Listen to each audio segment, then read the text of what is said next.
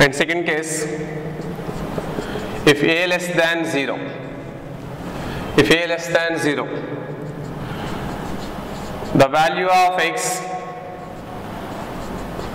the value of x tends to plus infinity,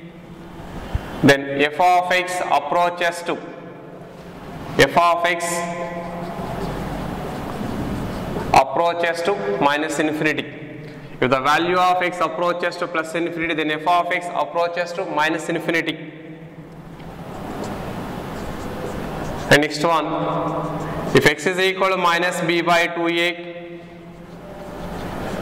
then f of x is equal to 4ac minus b square by 4a. And next one, if x approaches to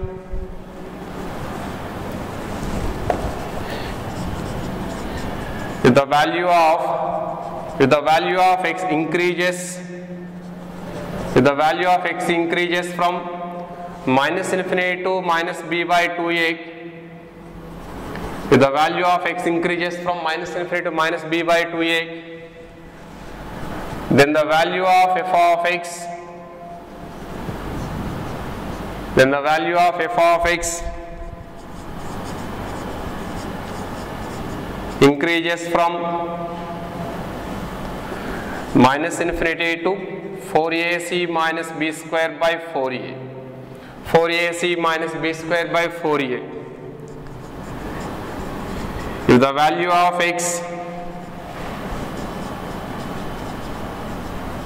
increases from minus b by 2a to minus infinity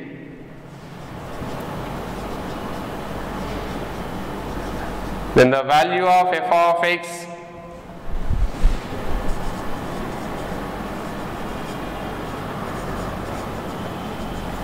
decreases from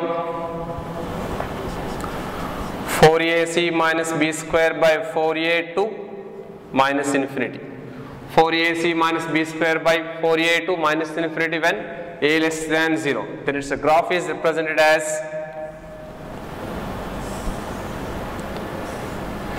x is equal to minus b by 2a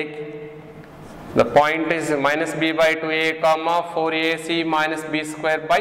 4a